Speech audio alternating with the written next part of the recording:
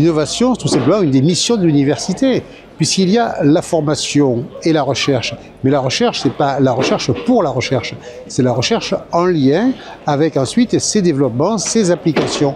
Et donc l'innovation, c'est une recherche particulière, une recherche aussi qui joue sur les applications et qui joue également sur le transfert, le transfert vers des entreprises privées et également le transfert vers des entreprises qui sont présentes sur le campus, puisque au niveau de l'université, vous le savez, on a une trentaine d'entreprises qui aujourd'hui sont campus.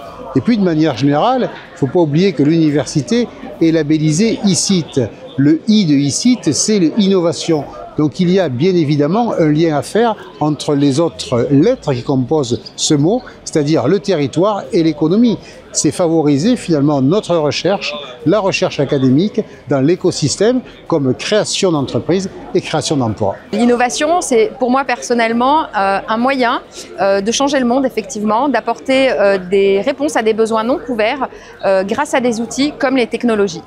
Et c'est aussi l'occasion pour moi de, de montrer euh, que l'innovation, c'est pas un vain mot, c'est ce qui va nous permettre de faire progresser nos écosystèmes, faire progresser nos filières et faire progresser, on va dire, euh, les, les, citoyens euh, dans sa vie quotidienne au jour le jour, de manière concrète.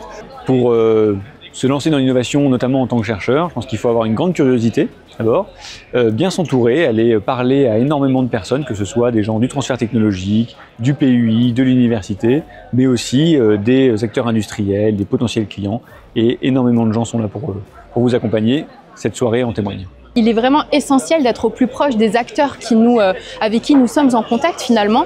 Et, euh, et, quoi de mieux que cet afterware qui permet finalement de mettre en avant tous les acteurs, euh, que ça soit donc euh, la DIPA, l'Université de Montpellier, euh, les incubateurs, et, donc de pouvoir discuter avec eux autour d'un bon verre et dans un cadre extrêmement agréable. La plus innovation future, elle est sûrement très belle, mais la particularité, c'est qu'on ne la connaît pas.